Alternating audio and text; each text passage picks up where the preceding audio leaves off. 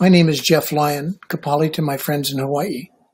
I'm a professor of religious studies at the University of Hawaii and teach courses on the Old and New Testaments, the life of Jesus, and other biblical literature.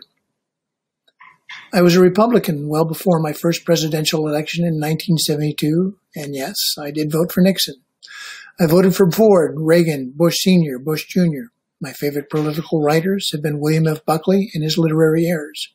Republican priorities of fiscal responsibility, clear and determined foreign policy, and fidelity to the vision of the founding fathers have always resonated with me. I believe, in accordance with the Declaration of Independence, that rights are God given not the prerogative of any state. I want to talk about Donald Trump and religion, my field of academic expertise. I am not only a professor of religious studies, I am a Christian. Not any particular brand, but I take it seriously. All persons who call themselves Christians, for all our differences, agree on following Jesus. Even when we do not live up to his teachings, we believe in forgiveness, truth, compassion, and doing better next time.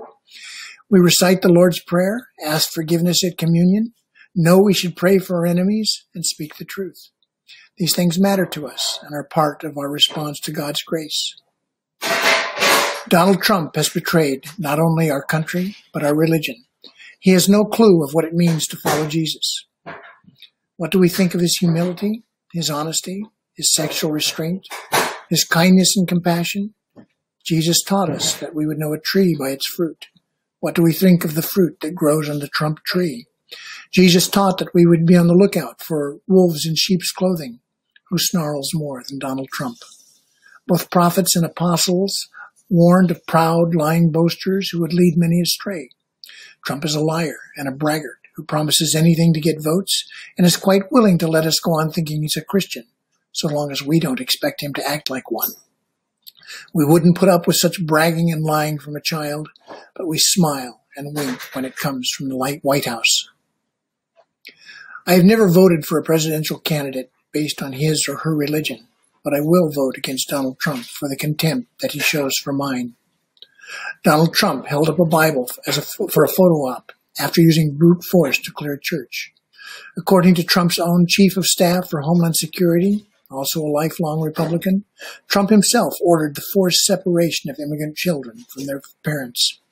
He courts the friendship of tyrants and bullies, puts his own interests above that of the nation, but beyond it, beyond it all, he lies and lies and covers it up with more lying.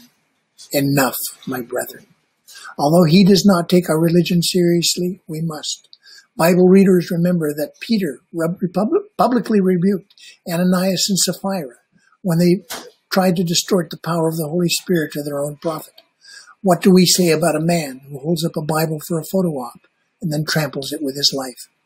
He relies on our complicity, and we keep making excuses for him. Fake news, media bias, Trump being Trump.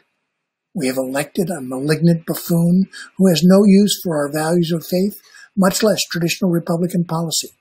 His only policy is to hang on to power to use the government as though it were his own private company, and it is we who call ourselves Christians who have put him there, and it is now we who must put him out.